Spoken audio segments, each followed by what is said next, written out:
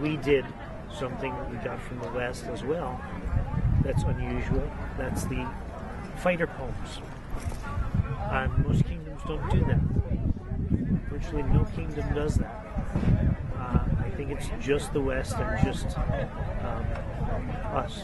The fighter poems were originally written in the Kingdom of the West, and everyone who fought in Crown Tourney got a fighter poem.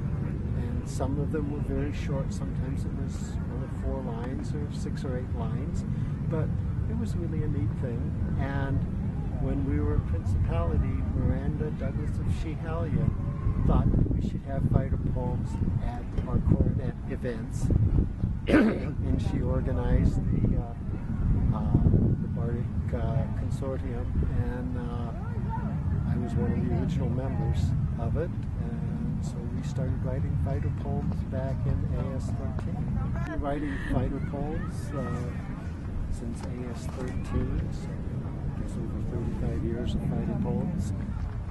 Some I've written enough fighter poems that they come very easily, and so sometimes if she's short a poem or two, I'll write second poem, sometimes a third poem.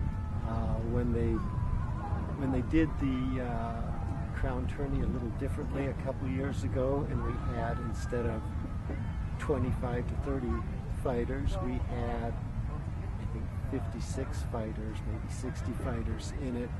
There was some dismay among the uh, the poets that we would never be able to do all this, and I said, we can do this. and I think I wrote 12 poems for that book. Wow. so, so that was interesting. Uh, my squire went also to the middle, one of my squires, and he tried to start fighter poems for the Kingdom of the Middle. And he tried for like three years, and it just didn't take. So we're unusual in that.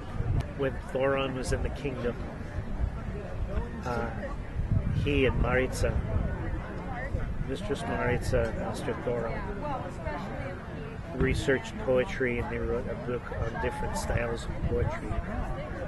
Um,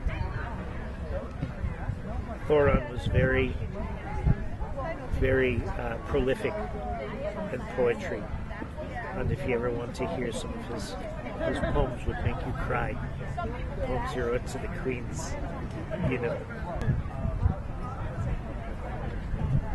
And so, again, something to be proud of.